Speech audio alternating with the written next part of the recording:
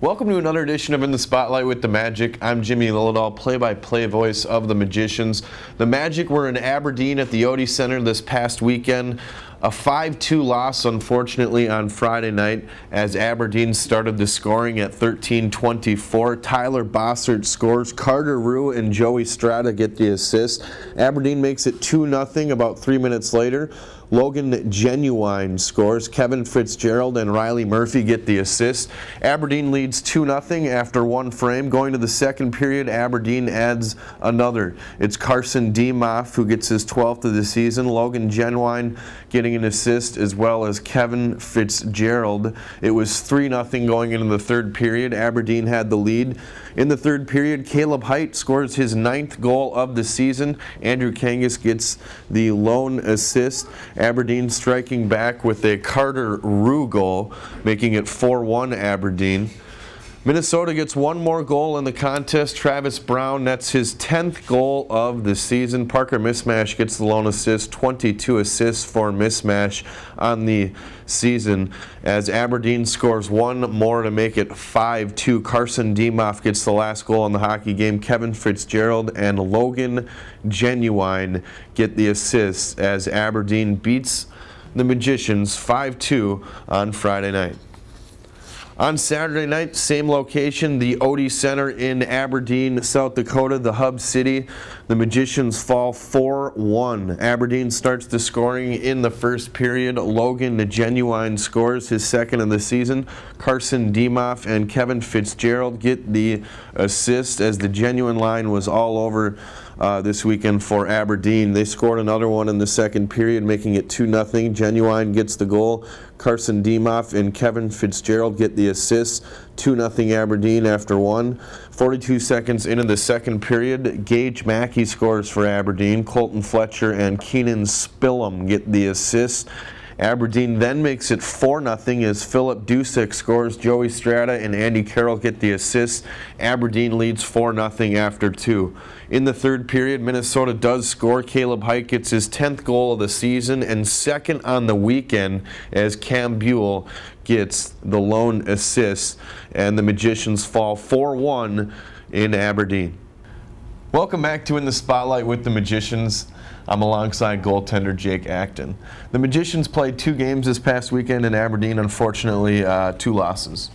Uh, yeah, we just couldn't find a way. Uh, their goalie was goalie was great. Uh, had a tough time getting through their uh, through their defense, and uh, I think we've learned now what we have to do against that team. And I think next time we come up against them, we'll be ready for the challenge. January 3rd was your Magicians debut. What was it like coming into a new program and, and meeting a new bunch of guys? Oh, it was great. Guys were welcome right away. Uh, just a great atmosphere. Uh, fans are great. Uh, had a lot of fun. What's it been like uh, playing with Ivan Prosvetov? I know you guys have both been seeing time a little bit late as Scott Meyer has gone with the combo platter and net. Um, what's it like been, uh, you know, teaming up with Ivan and net? Uh, well, it's been great competition.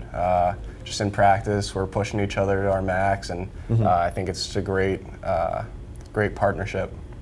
Uh, you're three, two, and one with one shutout this season, uh, and you just uh, were goaltender of the month. So, um, as of late, things have been good for you. Uh, yeah, I think uh, a little bit of a slide late as of late, but mm -hmm. I feel comfortable. Um, obviously, great team, great defense, um, a lot of help back there. So, um, yeah, it's going going pretty well so far, I think. Not a lot of West Coast kids with the Magicians um, or in the North American League if you look at the country as a whole. Uh, what was it like coming from the West Coast and where are you from? Uh, so I'm from Livermore, California, uh, kind of a smaller town, a lot of uh, outdoor activities, uh, a lot of hiking, uh, a lot of stuff to do outdoors. Um, definitely not a lot of ice hockey. Mm -hmm. I was one of the only ones kind of growing up at my school to play.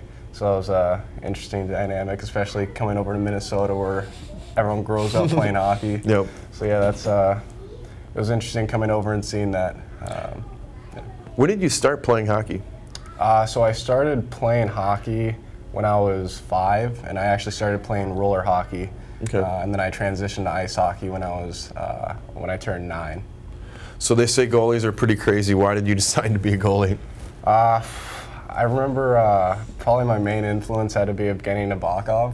Uh, watching Yep. him grow up uh, for the Sharks. Uh, I'd always watch the games with my grandpa and dad, Mm-hmm. and uh, I would always just watch him, and I thought it was I thought it was cool, and uh, so yeah, I just kind of took up the position. Hobbies away from the rink. If it's not hockey, what are you doing? Um, well, back home, uh, like I said, a lot of outdoor things to do. Uh, a lot of hiking trails, so I'll go hike uh, along with my buddies. Um, they actually just opened a, or I mean, I know it's hockey related, but they just opened an ice rink around by my house, so that's a new thing to do. But um, mainly just be outside. That's kind of what I like to, or mainly what I like to do. Before we go here, two games against Fairbanks uh, this weekend back here at, on home ice. Uh, how important is this weekend? Uh, very important. I think just for the team, just to kind of get back, get back winning. Uh, we definitely haven't had the success we would like as of late. Uh, so I think just to get four points this weekend, get back on the right track, and uh, keep making the push. Thanks for taking the time. Oh yeah, thank you. Welcome back to In the Spotlight. The Magicians played two games this weekend, both against the Fairbanks Ice Dogs. On Friday night, the Magicians uh, will have Cam Buell Coaster Night. You can get one of these coasters if you purchase a beverage in the upper concourse, so looking forward to that. On Saturday night is Secondhand Hounds, the fourth annual uh, promotion with uh, Secondhand Hounds. You can come to the rink and adopt a dog. What a great deal that will be. If you can't make it to these two games, you can check out the broadcast on hockeytv.com. It should be a great matchup. Fairbanks has been hot lately, and the Magicians have not played at home in quite some time. Atte Tolvanen is this week's alumni update. Tolvanen has five straight shutouts for Northern Michigan. He played with the Magicians during the 14-15 season. That's going to do it for another edition of In the Spotlight. So long, everybody.